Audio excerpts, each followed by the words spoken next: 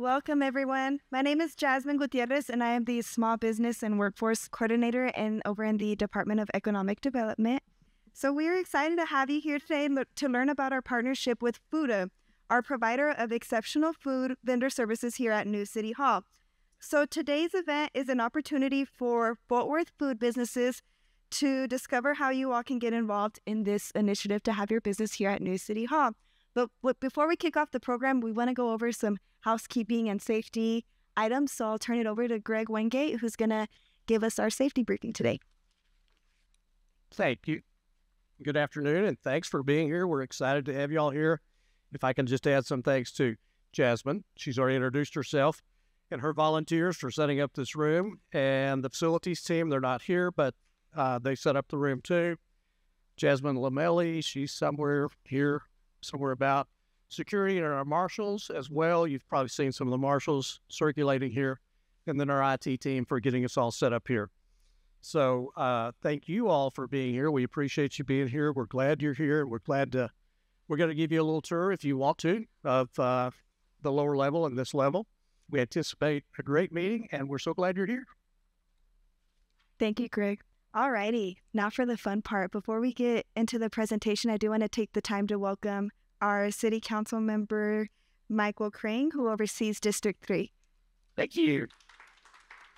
Thanks for being here, Greg. I appreciate your saying uh, if you have to pee, go to purple, and if there's an emergency, run toward the exit side.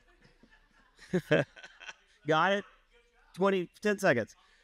Hey, thanks y'all for being here. Michael Crain, I have the honor of serving on the city council.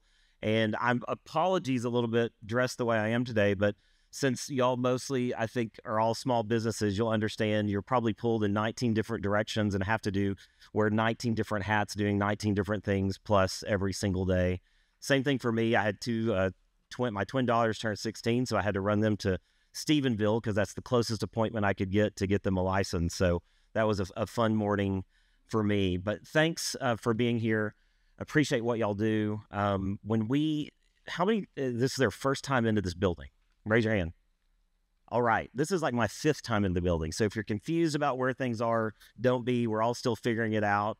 But when this building was purchased and as we went through the process, one of the things that we talked about, especially a, a vision for the for this council and make a priority is that you had broad-based opportunities uh, for everyone here and that meant for depending on what the contractors were, what we needed, et cetera. Also, the food and the choices and the other things that all of our employees and visitors had uh, were able to to do and and and get. So I'm excited to kick this off for you. I won't talk longer because there's more substantive pieces of this. I just wanted to welcome y'all all to your city hall, and hopefully that all of y'all will play some sort of role in everything that we're doing next and uh, build your business and, and create opportunities for you and your family and the choices and everything else. But I'm proud that y'all are here and thanks for letting me speak to you for a minute. I appreciate it. Thank y'all.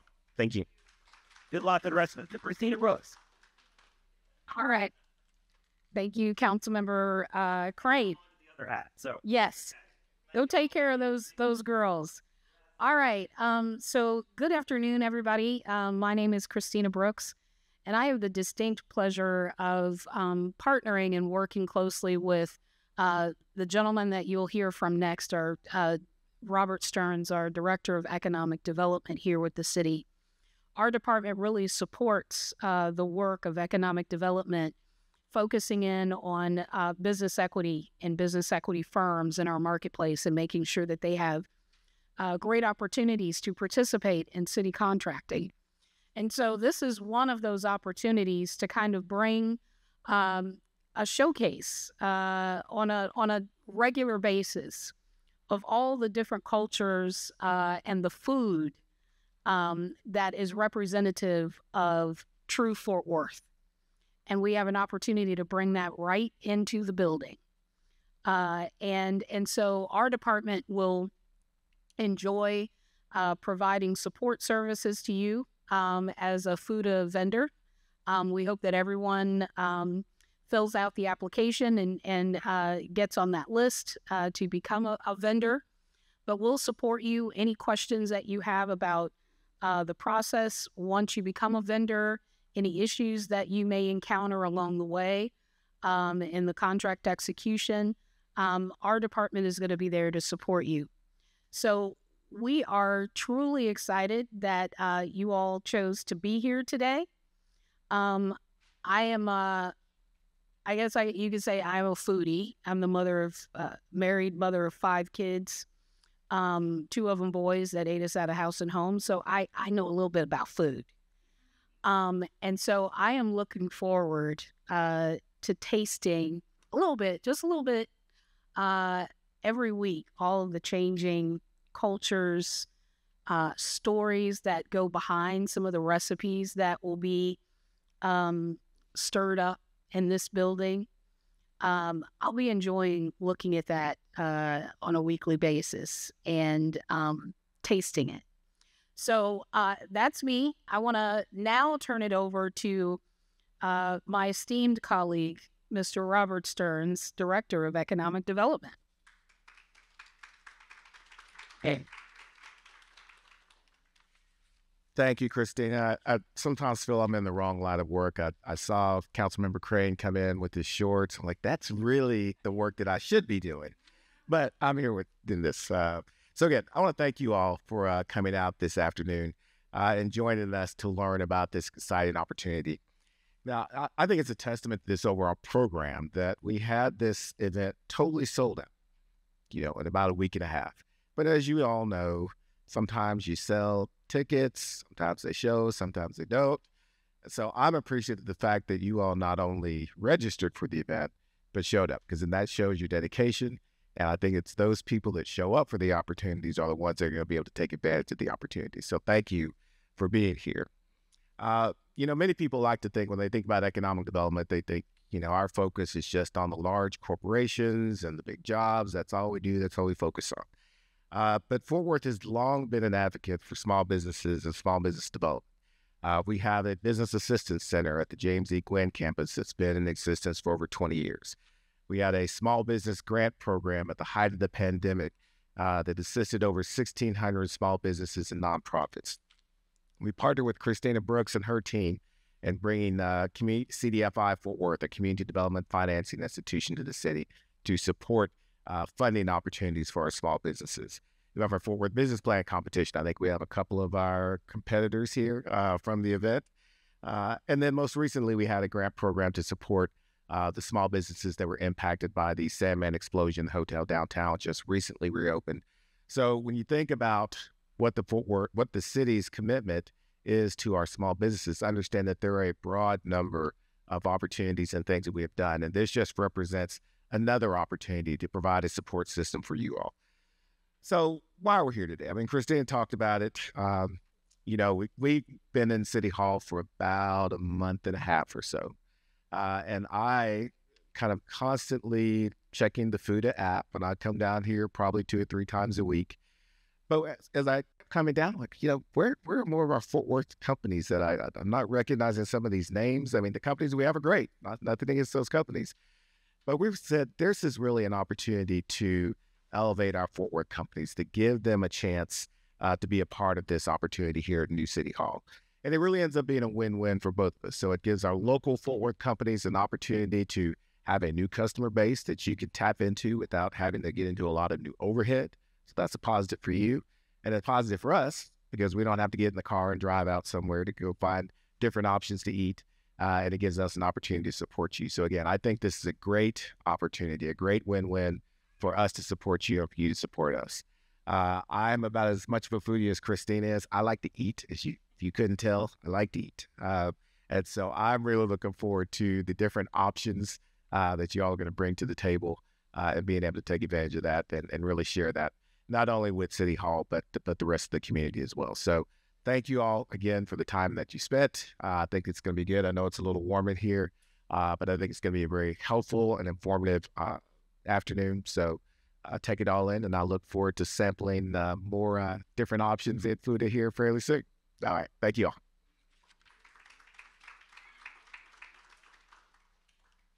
And now, please help me welcome Anna Banky and Natalie Sharp with Fooda.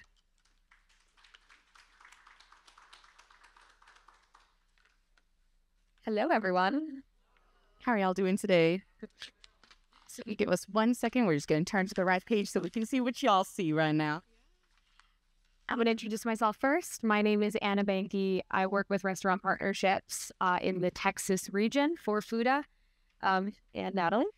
My name is Natalie Sharp. I'm the account executive for Fooda here in DFW. Nice to meet you. I'm the one who you'd be working with the most, so memorize this beautiful face, all right? awesome. And then clicker here, right? All right. So, how did Fooda start?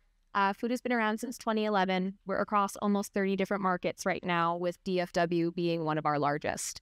We have about 40 different corporate locations, but we don't only work with corporate locations, we work with government buildings and also hospitals as well. So you get a little healthy mix of everything. The reason why it started was um, in Chicago, our founder figured out that he was kind of sick of the lunch options that he had in his two block radius, and he wanted to figure out a way to actually bring in more restaurants and more flavors to try a couple of things. So they started asking people to come in and then started a business out of it. So we work with 1,500 for over 1,500 customers with Fooda right now. Some of the largest ones that we work with in DFW are Southwest Airlines, T-Mobile, Louis Vuitton, Goldman Sachs, um, but like I said, over 40 different locations. And that includes government buildings, as you guys are in today. Um, so actually, long time ago, all the way back in 2018, pre-pandemic, if anyone remembers those days, we started out in Fort Worth. Um, I'm sorry, not in Fort Worth City Hall, in Houston City Hall, down in Houston. So we have a Houston team as well who's been doing this for a lot longer than we have. Um, and then in 2023, we opened up in Dallas City Hall.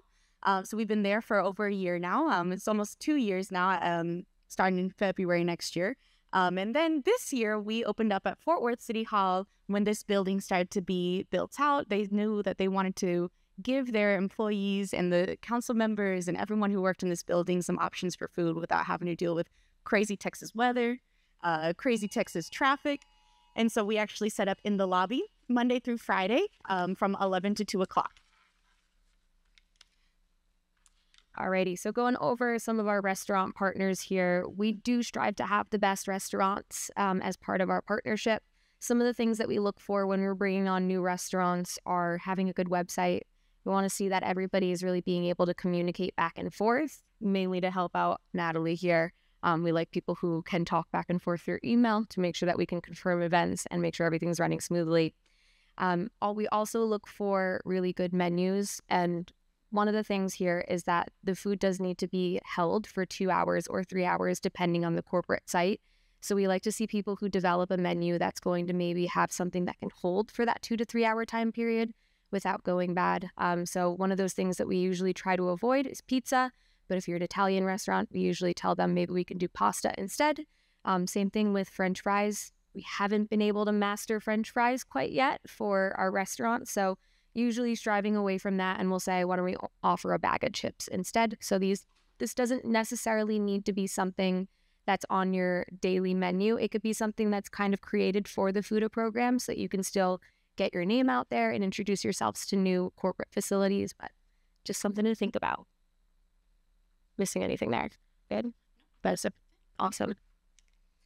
Alrighty, and then talking about our pop ups, um, pop up is the bread and butter of our Fooda program. So it is the way that we started, and it's the way. Did it go? Oh, sorry about that. There you go. There's pop up. Um, so it's usually a two to three hour pop up, so to speak. And it, I like to tell people to think of it as almost a mini food court inside of the corporate facility or government building, restaurant, um, hospital. And the way that we're able to do this is through partnering with restaurants. So we would ask y'all to actually come in and serve during that two to three hour time period. This is all rotated as well. So you're not necessarily always going to the same facility. And if anything, it's something better for you because we get more exposure, more availability throughout the city. So, like I said, we have those 40 different corporate sites, and we like to kind of cycle you through there to get your name out there to more than just one place.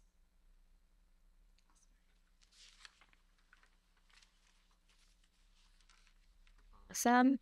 And then when we're talking about the actual pop up setup, we offer um, it we provide you at least 12 feet of table space access to running water wi-fi electricity tablecloths sneeze guards and then we'll also have a digital menu board showcasing who you are and what you're serving in terms of everything that you are responsible for it starts with the heating Um, so usually we don't require anything that's super fancy or high tech. Usually just wire racks and sternos are totally fine with us. If you have chafing dishes, those are even better, but not required. Um, but even if you want to plug in and have an electric warmer, that's also doable as well. Um, we do also expect that you bring at least two people to the time of the event. And the reason for that is not just a food rule, it's a health and safety rule because there is payments being collected. So ideally one person for serving and the other person is collecting payments. One thing to note with this setup is that there is no cooking allowed on site. That's one of the main reasons why fried food doesn't do super well um, because it needs to be pre prepared at your facility, temped there, and then you carry it over here and make sure it's still, you know, outside of that temperature danger zone. And then you serve the food. Nice. So not only do we have our pop-up Fooda events, which like Anna said, that's our bread and butter. That's actually going to be 95% of our Fooda business here in DFW. But we do have a little bit of catering that we can do as well. Um, unfortunately, we do ask that if you are a pop up restaurant, um, you do catering as well. And if you're a catering restaurant, you do pop up as well. We don't like to just have people for catering and just have people for pop up. We want to have people who do both with our Fooda program. These catering programs can work in a few ways. The most common way is, um, for instance, Louis Vuitton today had a serving catering program. So, what does that look like? Louis Vuitton contacted me and they said, Natalie, we want 75 people to be fed at $14 per person. We would discuss a menu, you and me. We would decide, hey, let's bring two to three entree options, two to three side options, enough for 75 people, right? And then they're going to go through the line and you're going to help serve the food. You're going to help portion out the food because who's been to a wedding or a buffet where someone decides that is a lot of salmon? I want all the salmon for myself, so I'm going to put five pieces of salmon on my plate right? But if you're bringing food for 75 people, you want to make sure that all 75 people get fed, right? So you're going to be there to help serve and portion out everything to make sure that everyone gets fed the exact same portions. Um, does that make sense? Awesome. Anna's going to talk about the other catering option. So this is the pretty standard drop catering order. We get the order about seven days in advance, and that order is confirmed with you in your restaurant. Um, you are responsible for actually doing the delivery portion of it. So you would have a 30 minute window to actually drop it off inside of the facility. Um, you can set it up if you want to, but doesn't require you guys to bring any additional sternos most of the time. Correct. Right. Um, and then you get paid out on the event. So pretty seamless. One thing to note with this is that these orders are given to our pop up partners. So we do ask that you be a partner with in pop up as well as in drop catering so that everybody can get a little pick of the puzzle. Absolutely. And something that's really exciting, something that we already started in Houston is delivering for certain accounts. Um, and we're looking to incorporate that um, here up in DFW by the end of this year, beginning of next year as well. Um, and now I'm going to go to basic requirements of what it takes to be a Fooda pop up restaurant because I know that is the real reason why y'all are here. So, Natalie, what do I need to do to be a part of your program? Number one is documentation. Documentation is always where it starts, right? Paperwork is always where it starts. And Miss Anna is going to go over documentation a little bit more in detail um, in our few other slides down the down this presentation. But just to give you a basics, we require a food service permit, um, either a surf ServSafe certification or a food handler certification, and a health inspection report for your kitchen. Um, once again, Anna said food is going to provide you the tables, the tablecloths, the sneeze guards, so you don't have to worry about bringing those. Um, food will provide those for you. Uniforms is a great way to do free marketing for your restaurant, right? When you're entering these buildings and you have your logo somewhere on your shirt clearly displayed, that is you putting out your brand to those folks, right? So uniforms are very important to us. We ask that you wear your brand somewhere on um, the people who are doing the Fooda events. Um, that doesn't just have to be the shirt, it can be a hat, whatever works best for you. It could be an apron. Um, and then just to look professional, right? So if you uh, take our councilman, for example, um, our first councilman would probably not be accepted for a Fooda event, funny enough. But this lovely gentleman is looking professional. He's looking great. He would be accepted. Um, that just means, you know, um, pants, no shorts, closed toe shoes. That's not just a Fooda rule, that's a health department rule, you know? Um, and then something to keep your hair back, either a hairnet or a hat, uh, will work great. As Anna stated as well, we require that two people be at each of our food events. Once again, that's not just a food rule, that's a health department rule, right? Because it'd be impossible if you're doing 75 people in about two hours, you would have to take the payment, wash your hands, serve the food, take the payment, wash your hands, serve the food, and that would just get exhausting. There'd be no way anyone could do that, right? So that's why we ask that two people come, one person to take the payment, one person to serve the food. If we are prepping you for over 85 meals, we actually ask that you bring three people to those events because getting over um, 85 meals in a period of two to three hours would just be quite impossible for two people to do by themselves. So we want to do three people for those events. Um, that is just to get people through the line faster. Um, organized space, all of our tablecloths go to the ground, which means that you can use underneath the table for personalized storage, um, extra food storage. We just want the setup to look professional and neat. Sometimes, you know, you go to these restaurants and you see clutter everywhere, and then you start thinking about health concerns, things like that. So just making sure that when people look at your setup, they recognize that this is a person who's clean and organized, right? Um, Another thing that's very important for food events is that all of your food must be served in to go containers. Here we set up in the lobby on the first floor. Now imagine if I'm a sixth floor worker at Fort Worth City Hall and I go down to the first floor lobby and I get my food in a paper plate. How well is that paper plate going to hold up me carrying it all the way from the lobby all the way up to the sixth floor, weaving through hallways? Mm-mm, it's not going to hold up, right? I'm going to drop something. Knowing me, I would drop something. Um, and then two, my food probably won't be hot by the time I get up to the sixth floor. That's why we require that everything has to have a lid on it. Um, so it stays hot and no one spills anything. And then the last rule is, of course, following all health department procedures. That's not just a food rule, health department rule, right? So any rule that you have for you and your kitchen, just apply those same rules to the food events. Now, what do you need to bring to these food events? I made you a cool checklist. You can use this checklist as a basis to make your own checklist, or you can print this out for you and your team. Something that I want to point out for your checklist is, let me turn so you can see the checklist, that'd be important, um, is something to keep the food warm during transit. And if you look at those camper boxes and next to those camper boxes, you're going to see a cart. Some of these folks um, in these buildings, for instance, Southwest Airlines, you load in the, uh, you unload in the loading dock but then you serve food up in the third floor. It would be very hard for you to physically carry all of your food from that loading dock up to the third floor. I highly, highly, highly recommend that you guys buy a cart or something with wheels on it. So that way you can roll your food instead of carrying it. Um, that's going to eliminate you and your team spilling your food all over the floor at these sites. It's also going to eliminate someone hurting their back or hurting their knees, right? We don't, we just want to make sure everyone's staying healthy. So something with wheels to carry that food, something to keep your food warm during service. So there's electronic warmers in that photo. There's also uh, sternos with uh, chafing dishes. The most important thing is that you keep the food warm during service because that is what people are going to be eating, right?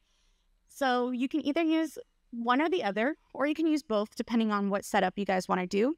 Um, some of our sites do have a no open flame policy. Um, at those sites, we'll provide four electronic warmers for you. If you need more than four, you have to bring your own.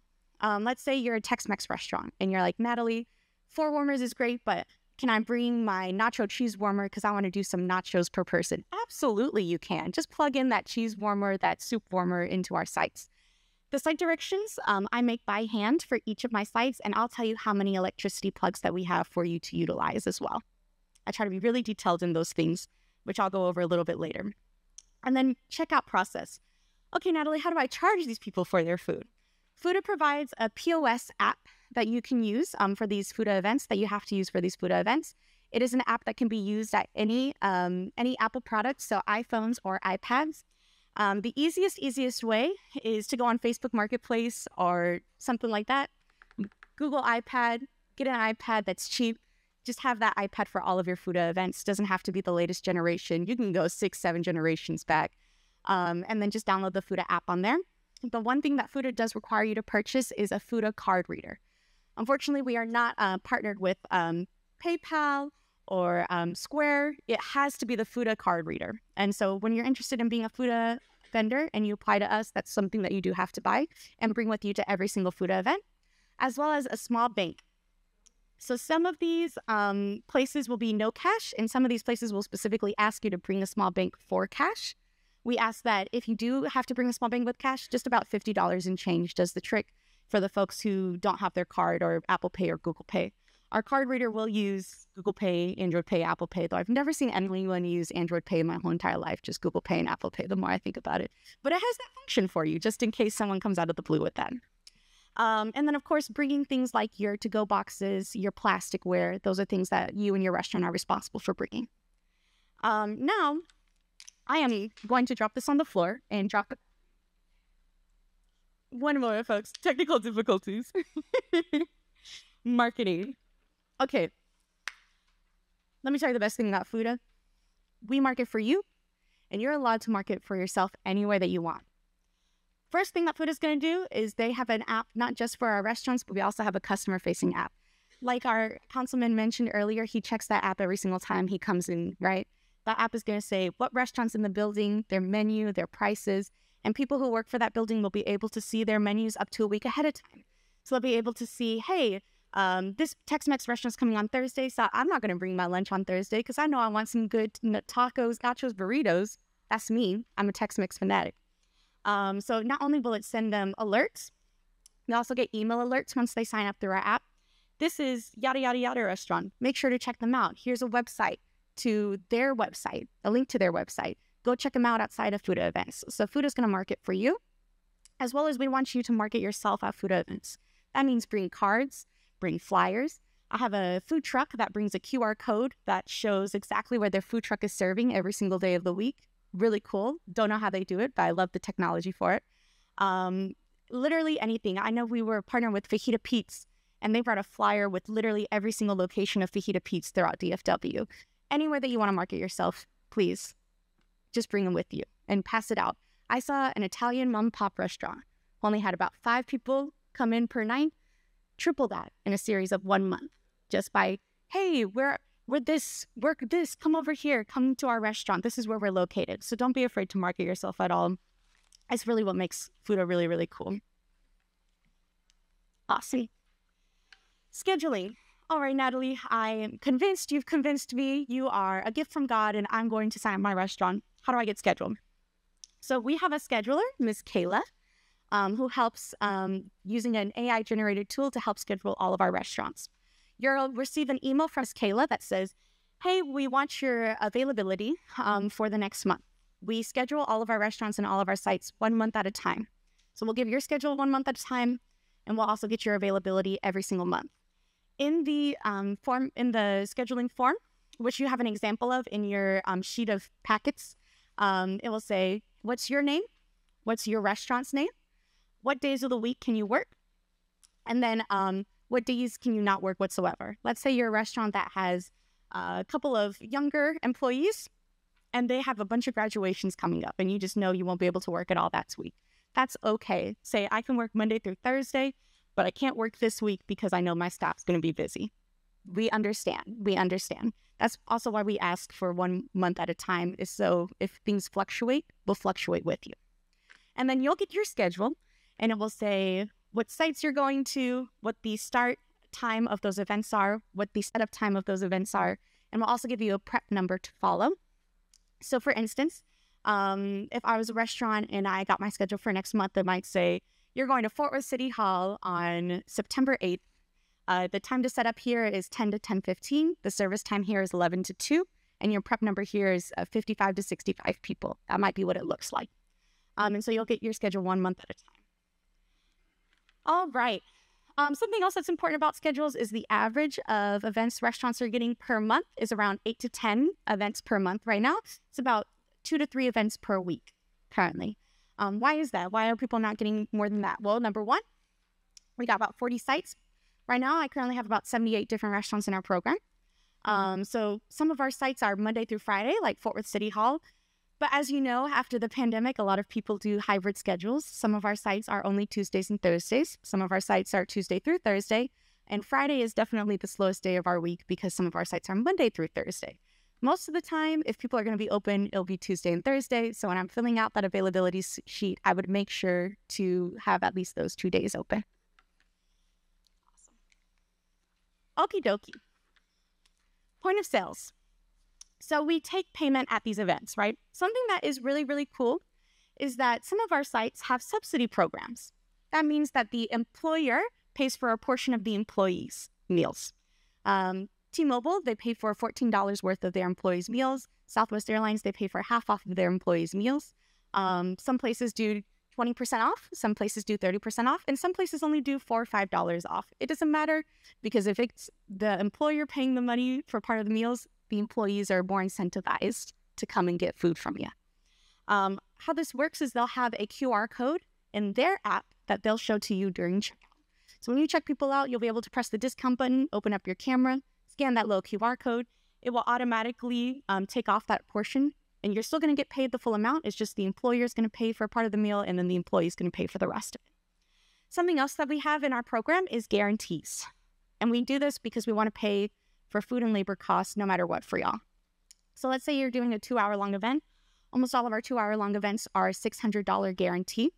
Um, $600 gu- guarantee means that if it's a weird day at the office and you only make $400 worth of sales, then you'll get 200 extra dollars um, for that event on top of what you did in sales that day. So that way, when you're walking away, you're not in the red for any of these food events. We do this because we care about small businesses. A lot of these um, restaurants that we're partnered with are mom and pop businesses, and that's what makes Fooda so great.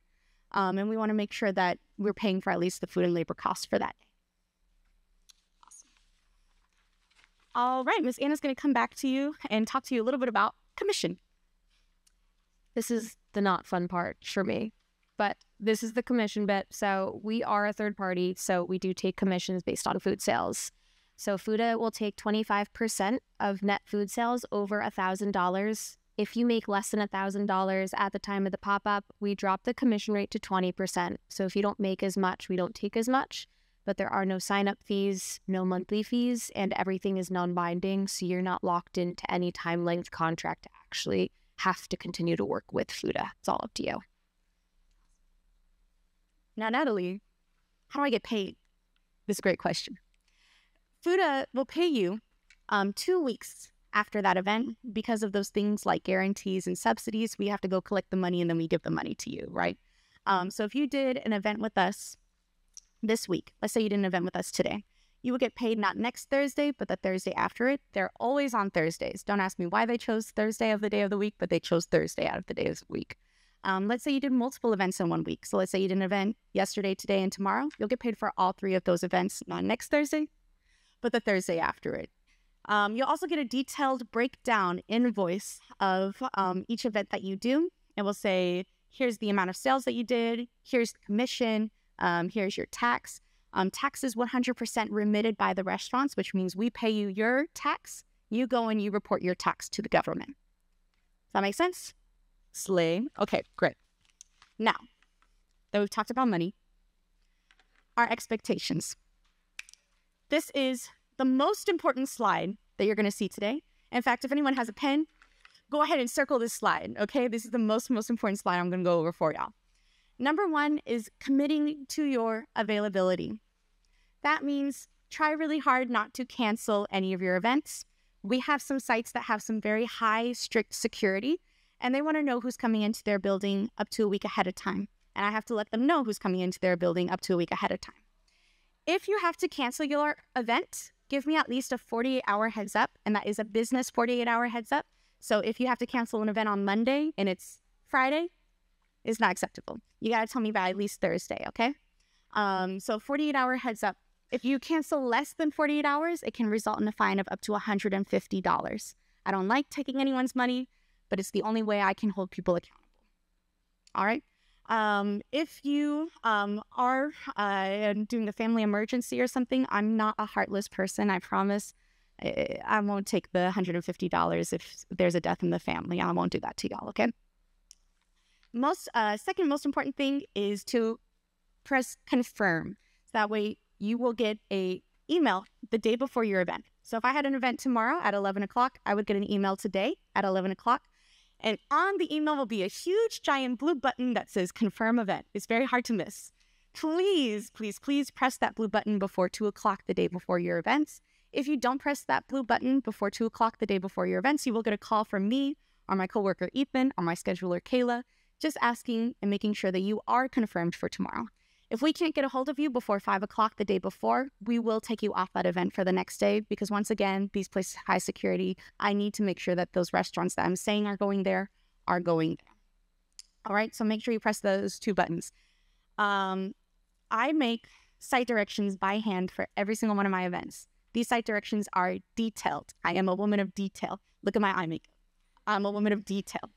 Um, basically, I'm going to tell you where to park, where to unload, what time you should get there. Uh, if there's security, do you need to have an ID with you? Um, how many outlets we have? The water, where's the water? Where can I get my water for my chafing dishes or electronic warmers? I'm going to tell you that. Is there an ice um, machine provided? Yes or no? Some of our sites do have ice machines that you can get ice from, some of them don't. Um, and not only am I going to break it down for you with words, I'm going to break it down for you by pictures because I just don't want to leave any room for interpretation. So I'm to, I go through every single time we open a site. I take pictures as if I was one of y'all going into these sites and getting to where I need to set up. So I'll show you the picture of the outside where you're supposed to park, how to enter the building, how to get through the building, who to talk to, what to do, yada, yada, yada. Please, please, please don't throw all my work away and just read the site directions because I promise you 90% of your questions are going to be in those site directions. The number one complaint that I get from folks is that they didn't start selling on time. Please get to the site about 45 minutes to an hour beforehand of when service starts. But Natalie, I can like set up in 10 minutes. I know you can. I know you're a good, fast, hard worker, but sometimes there's traffic. Sometimes these places um, are surrounded by um, a car accident and you just got to give yourself leeway to get around there. Uh, sometimes there's strict security. So I need to go and check in with security before I can even enter the building. Sometimes there's security before the parking lot. Sometimes there's security as soon as you enter the parking lot. Sometimes there's security as soon as you enter the building. These places have strict security sometimes. So that is why we're giving you 45 minutes to an hour to get set up. How can I lose my guarantee, Natalie? Two ways. One, you don't start selling on time. Two, you don't bring enough food. Let me break that down a little bit more for you. So these guarantees that I told you about, $600 usually. Um, if I have the site saying my employees go on break from 11 to 11:30 and you guys start selling food at 11:15, that says, "Oh my gosh, you missed a huge portion of my employees by just that 15 minutes." That's why they have the right to take away the guarantee if you run late. Secondly, um, let's say I told you to bring enough meals for 65 people. It gets you around 700, 800 bucks, right? But let's say something happens. Maybe you dropped the food on the way in maybe you just couldn't prep the amount of food that you wanted to, and you only sell about 30 meals, you're sitting about $400. That means that you won't get the other $200 from that guarantee because you ran out of food before you could even hit the $600. Does that make sense? Awesome. These are very important things that I stress. Um, if you are running late, give me and my team a call. Um, we have a Google Voice line number. Um, that means that I have access to it and all my coworkers have access to it. So if you are running late, and you let us know and we let the site know, most of the time they understand. Oh, okay, I understand. No worries. Thanks for giving me a heads up. That's being a good communicator. The better a communicator you are, the more people like you, the more people want you to come back, right? People care about how you made them feel. Sometimes they don't care about your food as much as they care about how you make you feel. I'm sure as restaurant owners, y'all know that I was a restaurant manager for three years at Pappasito's. I understand exactly what you guys go through. Um, and then keeping the space clean and organized. Was there anyone who was a Girl Scout back in the day? So you know you keep a place better than what you found it, right? Same with Fooda. Um, we ask that you wipe the tables off before you leave. Um, I suggest buying uh, one of those huge food safe hand wipes uh, from Amazon or from the restaurant supply company. I got one of those big tubs that cost about $30 and it will last you about three months. You bring those food safe wipes to you at the end of service, you clean off the table. There's always going to be a dustpan and a broom next to you just sweep off the big pieces, okay? Just leave the place good. If it happens that you left a place messy and the restaurant who comes after you sends me a picture, hey, look at this restaurant, they left the place a mess. I will contact you, we'll have a conversation, and it can result up to a fine of $50. Once again, that's the only way I can keep people accountable for some reason is money. I don't know why. All right, Miss Anna is going to come up to you and talk to you more about your documentation. In order to get started, we do require a couple of standard documents. So, the first thing that we'll ask for is the food application, which actually all of y'all have on your seats too. In that packet, you're just agreeing to the commissions, asking for some contact information and financial addresses. Um, on top of that, we're going to ask for your food permit, your tax license, a food manager's certificate, like a ServSafe, and then final bit is the certificate of insurance on this policy, we do need there to be at least a million dollars in general liability and then 500,000 in workers' compensation. The workers' compensation part is not required by the state of Texas, but it is required by Fooda in order for us to connect you with our corporate facilities. Um, and then also on this COI, we do ask that you also put Fooda as a certificate holder. That's not to say that we're actually part of the insurance policy in any bit. It's just something that we require in order to actually say that we can function with it. Alrighty, y'all. You guys have made it towards the end. Are you guys excited? I'm gonna go over one last slide, and then we're gonna do a little bit of Q and A, so that way you can ask me and Anna any questions that you may have. Okay. So, I have heard Natalie talk, and she is just a fantastic person, and I just want to partner with her and work with her from now on. No problem. What you're gonna do is you're gonna go to fooda.com, and on the top of fooda.com, right hand side, there's gonna be four restaurants tab click on that four restaurants tab, there's going to be a drop down menu and you're going to click become a restaurant partner. When you press become a restaurant partner, it's going to ask that you fill out um, a form similar to the forms that you guys see on your on your um, chairs today, and make sure that you notate that you are someone who attended the Fort Worth Fooda vendor, and then you'll submit that paperwork. That paperwork is going to go straight to Miss Anna. Miss Anna is going to go through all the paperwork, make sure everything's correct. If she likes everything that she sees, if everything's good, She'll get in contact with you, and then you'll have the blessing of having a one-on-one meeting with me where I'll basically go over most of the things that we went today, but in a little bit more detail to make sure that you're ready to get started with us, okay? All right. It is time for a Q&A, and on this Q&A board, I see you're going to be the first one. You're also going to have um, uh, our uh, email addresses. Go ahead and take a photo of those email addresses. So if you need to get in contact with us, you can. Um, Miss Anna's going to grab that mic and we're going to go straight to you. Okay, ma'am?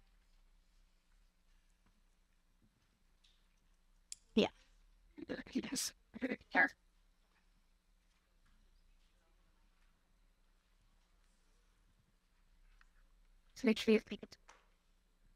So, when you have a facility or location that has um, fee parking, how do you handle that? So, almost all of our sites currently will um, go ahead and validate your ticket for you. For instance, we do a couple of downtown Dallas buildings, like uh, Saatchi and Saatchi and Team One are in the same building.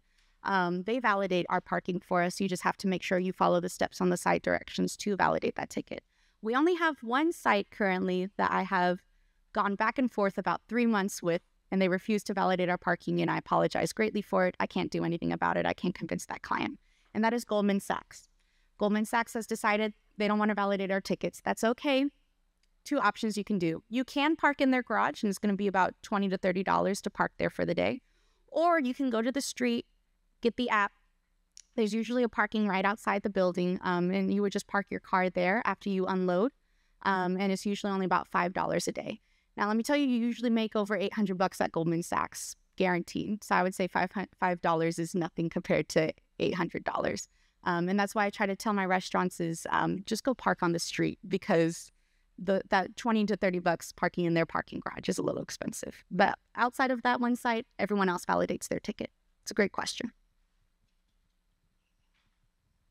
Hi, I have one question for you and one question for the city. Uh, the question for you is Do we set our own pricing or do y'all dictate the pricing that we charge? This is a great question. So, when it comes to pricing, we ask that you price the same amount of what's in your store.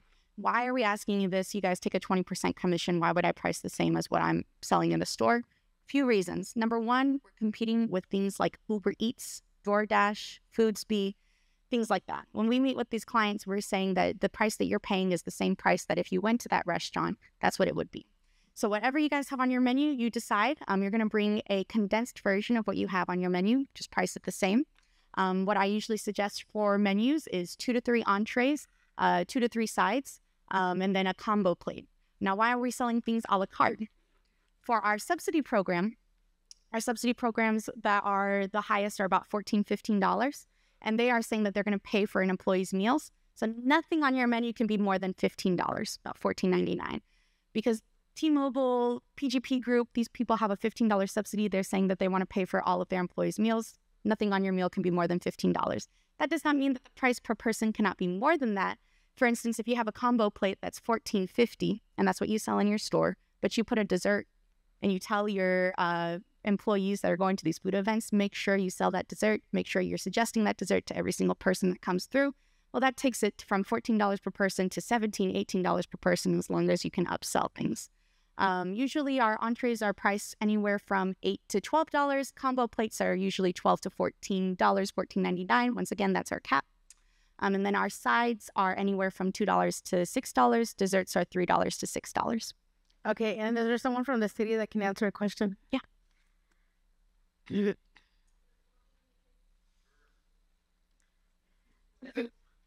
We'll see. See what the question is, then we'll direct you to the right person. Okay, so my question is 20% is a lot. Uh, will all city offices be asked to order catering through Fooda, or will they still be able to contact individual restaurants to order catering for any event, off like city event or anything like that? Yeah, there's no mandate that anyone has to utilize Fooda, so it is it is by choice. Any other questions around here? Okay. And we got two. Miss Anna, one right here. He was first, and then this lady over here. I'm gonna go here first. So as far as the fees, are are you sticking to that, or is there any room for negotiation? There's no room for negotiation at now. Um, I don't even have any mandate on fees. Um, that is what the company has dictated. That is our flat line for every single person who joins. Gotcha. Um, this this lady was first, and then we'll come over to y'all. One thing to also note with those um, commissions is that that's something that's never going to be raised as well. So a lot of other third parties will go in and say, we're going to give you 15% for three months. And then all of a sudden it's 18, then it's 20, and then, you know, and so on and so forth. Our rates don't change. It's always going to be the same. So you, there's going to be no surprises down the line if we're like, hey, we're taking 30%. That won't happen with Fooda.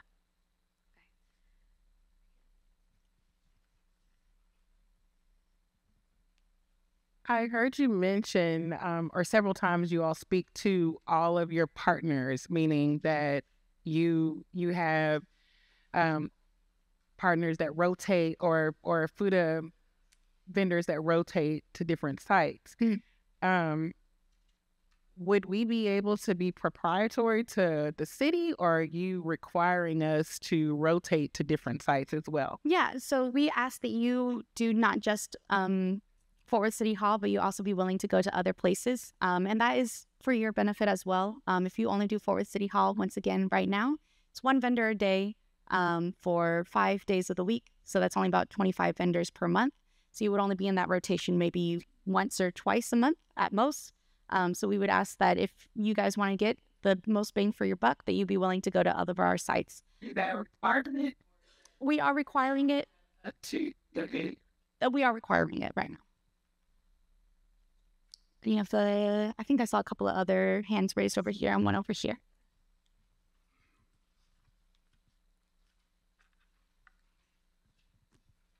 Hi, my name is Nikita Seal. I'm the founder of ZZ's Ice Cream Puffs.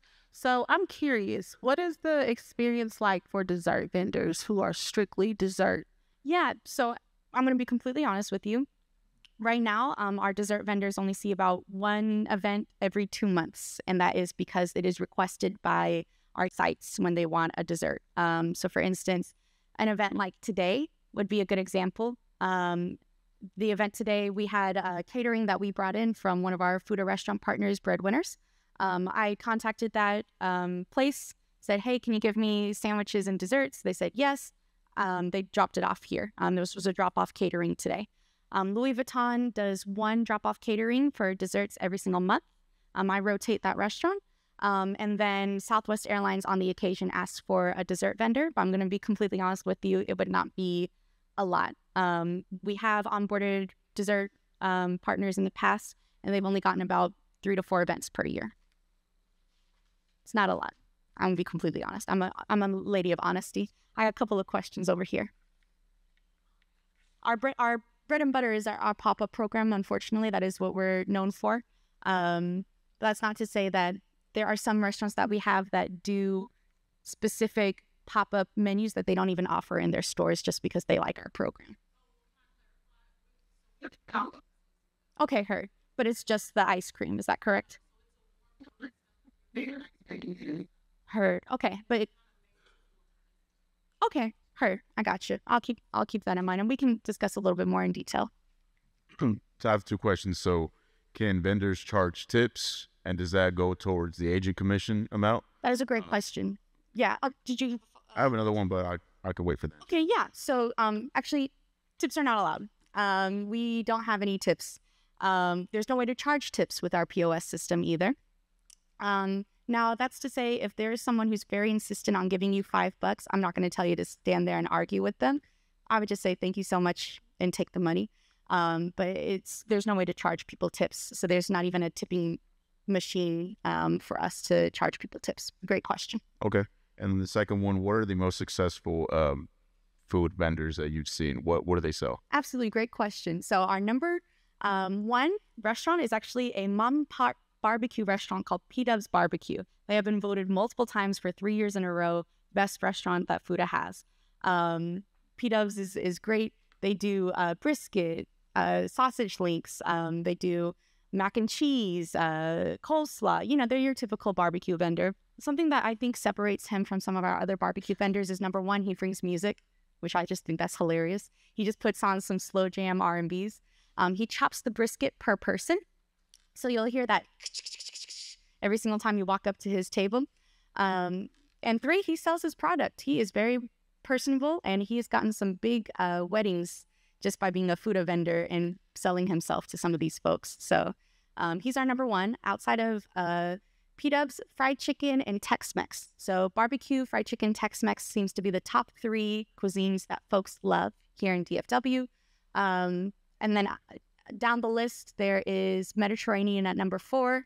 Number five tends to be Indian mm-hmm. because we have uh, not just Dallas, Irving, Fort Worth, Arlington. We also have Frisco, Plano, um, Richardson. Frisco, Plano, Richardson, I know is a long drive from here, um, but that's where T Mobile is, is Frisco. Um, Richardson, we got multiple multi tenant buildings um, and an NCR account. NCR is the people who do ATM processes. Who else around here? Do you mind passing this over? I wanted to ask the difference between the thousand dollars and the twenty percent and the ability to just do the guarantee in one pop up. Would you be eligible to do that, or do you still have to do the thousand versus the guarantee? Because I have a food truck and I prefer the guarantee. So, are you saying that you wouldn't want him to do a thousand dollars? You would, or over anything over a thousand dollars, you would prefer to be at the lower? No, I want to do it, but I'm asking you. You said that when you do the um, guarantees, they're around six hundred dollars. Yes. So if they're around six hundred dollars, can you explain how you get to the thousand dollars to do the twenty percent if you're only making six hundred, and if you only made six hundred, are you still paying twenty percent of six hundred? Yeah, absolutely. So yes, you are. The guarantee is not including the um the uh, commission. So it goes guarantee six hundred dollars, then commission. Uh, what is that? hundred dollars, then you get five hundred dollars walking away, right after commission. Um, however, those uh, guarantees are not most of our sites. Most of our sites you're doing way over the guarantee. Most of our sites you're doing 700, 800, 900, 1000 bucks, over a 1000 bucks. Southwest Airlines, T-Mobile, NCR, Goldman Sachs, you're almost guaranteed to walk away with over a 1000 bucks on those places. Okay. Thank you. Oh, yes, that's great. So I just had a question. Do you get to pick exactly where you go? Like what happens if you're going to Dallas and we have a very, very big non compete in Dallas? Yeah, absolutely. I understand. I have two Chick fil A's in our program right now, and I have worked with um, both of them on radiuses. So, what we do for some places is we build out a radius. Um, so, for instance, if you say I can't go more than um, a 30 minute drive or you give me a certain amount of feet, I will personally look at what radius that is for you and I will block you off from any site that is not in that radius and I'll just keep you in that radius. Do you have one? Do you mind passing it down? I, I have two questions. Yeah. Um, do you have a staff member that stays on site that's setting up and what do they do? Absolutely. This is a great question. So currently, the Fooda um, team here in DFW consists of three on-site members and one off-site member. What that means is there's someone who's almost always monitoring the Google line. We have a Google line. Uh, the Google line is accessible to the whole entire Fooda team. So let's say your TV is not working properly or um, you uh, are having issues with your card reader, call that Google line. Someone's going to be able to help you. Um, however, I will go with you, or my coworker Ethan will go with you to your first two Fooda events. After those first two Fooda events, um, there's not someone next to you the whole entire time. There are exceptions to this. Um, you're going to hear me mention them a thousand times, but uh, Southwest and T-Mobile are big, big sites for us. We have a person who works for Fooda at that site. In fact, for Southwest Airlines, we have five of their buildings. So we have five uh, Fooda managers who each operate one building. There's going to be a Fooda member there for you at those two sites. Same with Encore and Sally's Beauty Supply in Denton. It's a little bit far north, but um, they're a good account and they have a cafeteria space with us. Essentially, if we run their cafeteria, which we do at those four sites, there's going to be a Fooda staff member with you no matter what. Um, for the city, is there a cafeteria here already? Uh, no, the, um, their cafeteria is being built out um, right now. Um, it's not operational yet. I'm not sure what their ETA is on that. Does anyone have an answer for that? That's probably going to be so. Right now, for the council chambers up here, BBC, that is under construction, but a lot of the infrastructure is good for that cafeteria, so it will still probably be September, October next year. Yeah. And then, um, are y'all encouraging people to cater with you guys through your vendors, and that's also twenty percent? Absolutely. So I meet with our um, sites. Uh, I do like a quarterly business review. Um, me and my boss, we do quarterly business reviews where we talk with our our partners. We encourage catering. Um, we encourage obviously how can we get our Fooda program that's already there to even a bigger Fooda program, and then they want to make sure that their people are utilizing the program that they partner with as well. So usually our site contact is the head of catering at this place or the head of um, food things. I don't know. People have different job titles. Um, and so they're really encouraged to use the Fooda program if we're inside the building, no matter what. But we're understand that you're uh, here. You have pretty much all cafes that you uh, service. Do you ever have events outside where the people can bring their food trucks? We do have food truck events every once in a while, and that is not dictated by me. That is dictated by our sites. Um, so, for instance, um, Kubota. I don't know if you guys know that tractor company Kubota. Um, they had a food truck event um, two times this summer. Most of the time it's during the summertime. Um, and what we do is we place a higher guarantee for you. Um, usually that guarantee is around 800 to 1,000 bucks, depending on how many people are in the building um, because we know it costs more money to run a food truck than it does to just come and bring your food inside the building. Um, and so I would, I actually I have a list that I made at the beginning of the summer. I reached out to every single one of my food, uh, food uh, restaurants. Hey, respond to this email with your food truck. Um, and let me know what days of the week you're available with your food truck. And if I have a food truck event, I reach out to those restaurants and I say, come on, bring your food truck. And some of our sites absolutely love it. I've had about four or five sites do a food truck event somehow, some way this summer. I think we had one. Then there's that big sound with uh, Any special diets or like vegetarian or Yeah, absolutely. I think this is a great question. So I always suggest to my restaurants to have something that can be vegetarian on your menu somehow, some way. Um, so for instance, if you can just add um, a salad or a rice bowl, or um, if you're a Tex-Mex restaurant, usually it's um, veggie tacos. What what's your cuisine type, sir? What's the cuisine type of your restaurant? uh, actually, I'll get with someone that has a restaurant, Yeah, and I did a barbecue. barbecue. Yeah, uh, salads. Most of my barbecue restaurants got salads on their menu somehow, some way. They just don't put any meat on it. But if you want to add meat, it's like an extra three to four bucks. So that way, if someone wants a healthier option, you can just bring the salad leaves and a dressing. Maybe you make the dressing at home. You add a couple of um, maybe you want to make some grilled veggies, put a little grilled veggies on top. You can do whatever you want with that salad.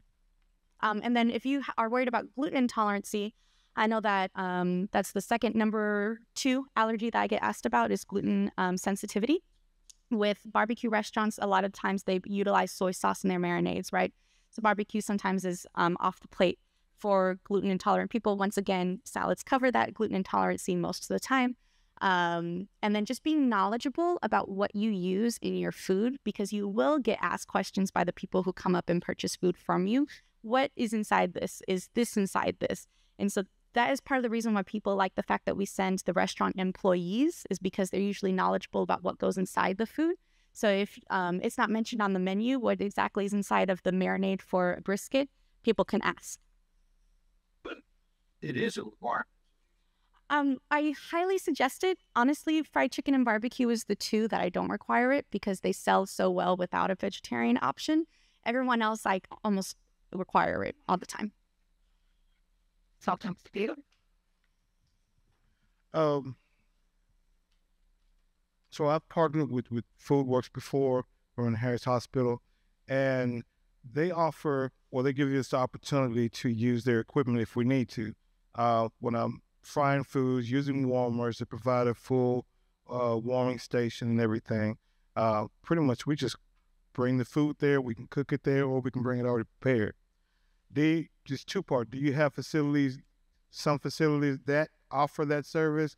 And number two, when the city finishes that kitchen, will if we provide, if we be a part of this, will we have the opportunity to use that kitchen and sell in that cafeteria, or will still be tabletop in the lobby? So let me tell you a little bit about Fooda's um, permit. Our health department permit is a catering permit. It is not a cooking on site permit. So no matter which site you go to, even Southwest Airlines, T-Mobile's, they have full kitchens that are being utilized by other people who have a permit that can use those things. Fooda does not have that permit. FUDA is the food is made, the food is brought, the food is served out. That is just our program. Also, Yeah. ours to make sure our vehicle is catering, uh, vehicle. Like if they would make, they make sure that our vehicle that we transfer them, they have what they catering need. It doesn't have to be a catering vehicle. No, it doesn't have to be a catering vehicle. You can use your personal vehicle. I have restaurants who use their personal vehicle. It's just that your food's going to smell like your vehicle. Your vehicle's going to smell. And you can continue. Hi, I am a dis- I'm with uh, Nothing But Cakes here in Fort Worth. Oh, her. And we do a ton of events. Um, I'm just wondering, and we are franchised, so we would be one where you would have to map out like Chick Fil A where we can and can't go. Yeah.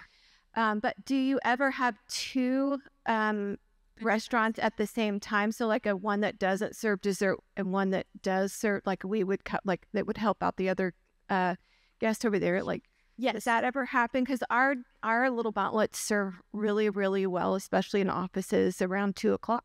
Yeah, and everybody Yeah. gets a little. Yeah.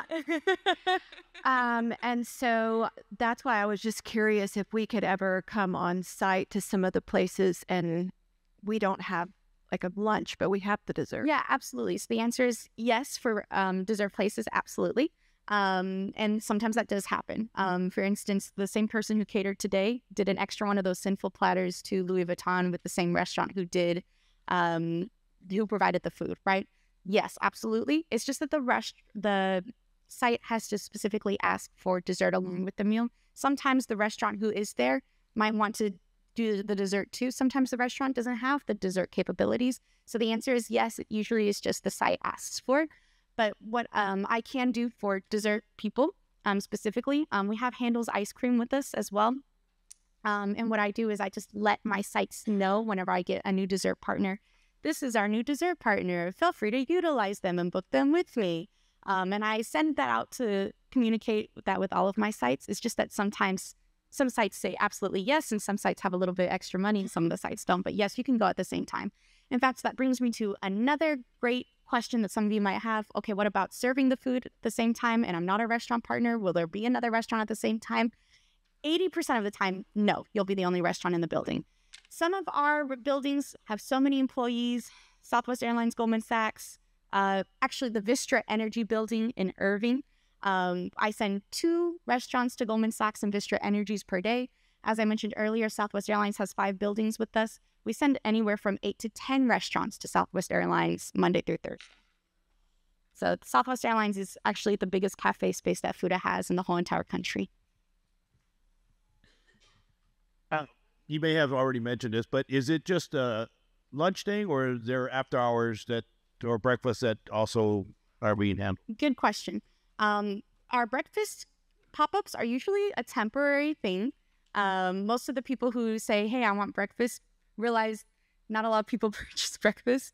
So the breakfast programs that we have, yes, we've done before and we're doing one right now, but I've already been told that the one that we opened last week, they want their final date to be next week because they have to pay guarantees for these breakfast programs as well.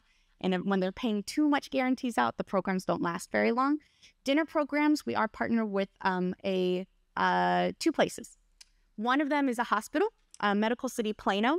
Um, we do dinner service there actually seven days a week, uh, so Sunday through Saturday. Um, their dinner programs, I'm going to be completely honest with you, you get paid essentially the guarantee every single time you go to the Medical City Plano dinner program. Why? Because the people who are left on site in the Medical City Plano are the ER staff. Sometimes the ER staff has time to come and get food.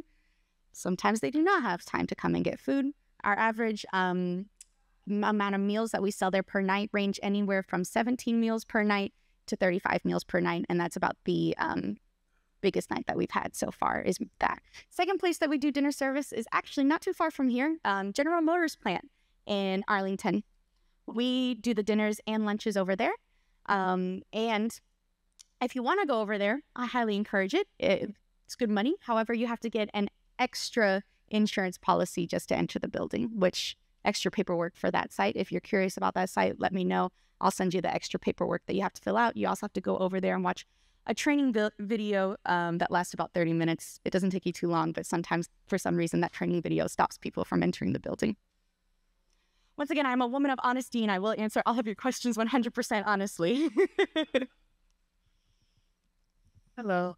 So I'm my name is Tamika. I'm the owner of Kinsley's Ice Cream and Funnel Cake Parlor. Nice to meet you. I have a question. So my question is, do y'all have a um let me see how I can say it. A person that survey how much food costs. I'm gonna be honest, food is very expensive. No, I understand. So Mm-hmm. y'all have someone to like go out and you know the cost of food because I for us, yeah, we sell the funnel cakes and ice cream, but we actually took our food off the menu because it's so expensive. So we don't want to be in that category. We let the other people handle it. Yeah, absolutely. So, once again, I can tell you the two stipulations that we have about pricing. Uh, number one, uh, no matter what, it can't be more than what you sell in in store in house, right? So let's say that your in store in house is um, thirteen bucks for whatever it is. If you raise that to thirteen fifty in store, you can reflect that raise in your food prices as well. Um, no problem. I just have to tell my sites, hey, what you're getting is the same what, what you would get in the store. Um, second thing is it can't be more than there's not an item on your menu that can be more than fourteen fifty, fourteen ninety nine, um, and that's not just because of me. That is because my sites, T-Mobile won't let you in the building if you have something more than fourteen ninety nine. Uh, PGP Group won't let you in the building if you have something more. price down. Just just a lot my my phone takes a sixty dollars faster though I gotcha. because we have homemade ice. Yeah. So portion size is a great way to um, go around this problem, right? So I have some sites that they do dinner portions. Everything is a dinner portion for them. When I meet with them, I encourage them to, hey, that's just a lot of food for lunch, right? These are lunch programs the majority of the time. Just decrease those those portions a little bit. Say if you want some pricing, get you down below fifteen dollars. Uh, will the city of Fort Worth have, um, I guess, uh, the vouchers to help their employees with their meal or not? Because that's one thing I did run into in Harris Hospital. Didn't nobody want to pay over ten dollars. If it was eleven dollars, oh, they dropped it and walked out. It was it was fat. Yeah, currently we don't have a subsidy program, but if that's something the Fort Worth City Hall ever wants to do, they're more than welcome to partner with us to develop a subsidy program. well, we're a little bit new here. We started in March. Yeah, we've we've been in this building for about two, three months now.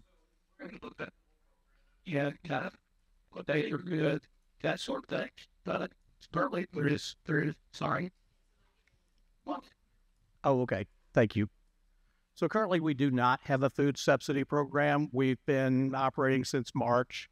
Um, that vision might change, but that is not currently the case. I'd love it if you encourage them to do a subsidy. No, I'm just kidding. Once again, I am a woman of honesty. I'm just kidding, Greg. All right. No worries. You guys take your time. So we have pickup prices compared to our delivery prices. is our delivery prices acceptable just because it covers the cost of like transportation, but it's still less than our like Uber and DoorDash prices? This is a great question. Um, for Chick fil A specifically, um, and the two that I've worked with before in the past, you guys have a separate catering menu. Um, and some of the prices are actually lesser than what you guys sell in store because of things like no fries for some of your combo plates. If that is the menu that we're working off of, then yeah, absolutely, we can use that menu. Okay. Because I know you guys don't bring your fries to our food events, you guys bring chips. And so sometimes for some of this stuff, the chips fluctuate the price. And so since that's not something offered in store, that's something that's only offered through the Chick fil A catering um, menu. That's the menu we utilize.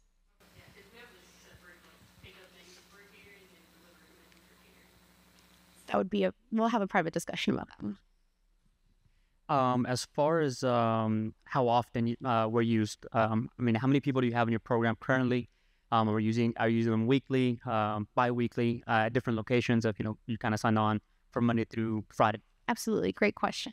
So, um, we have about 40 different sites, 40 plus different sites in our food program. Right now, I currently have about 78 restaurant partners. Um, the average for restaurants right now, who, and these are the partners who are the most um, okay with range. Let me also say with that. So, they're willing to go anywhere in DFW. Um, they get around an average of eight to 10 events per week. Um, so, that's, I mean, not per week, per month eight to 10 events per month. So that's about two to three events per week. Um, and let me also preference this by saying if it's a holiday, these offices close down, which usually means they tell Fooda to not do any kind of Fooda service. Um, so a lot of times, for instance, um, July 4th this year fell on a Thursday. There are some sites that just said cancel the whole entire week. We know no one's going to be in the office all of July 4th. And there's some sites that just said, hey, just cancel Thursday, cancel Thursday, Friday, things like that. So one, it depends on the day of the year. Um, two, some months I have a lot of um, holidays, some months don't. Um, but the average right now is eight to 10 per month, about two to three per week. Any questions? What I'm saying is if it's Christmas time, if it's December, there's not as many to go around during December and November. I think that is all of the time we have today and all of the questions we can take. I'm going to be standing up here to the side. Uh, I'm your person to come to if you have questions about um, specifically the food program in DFW. and as the person to have questions when it comes to documentation. Uh, feel free to come and talk to us. Thank you. Help us give a round of applause to Anna and Natalie.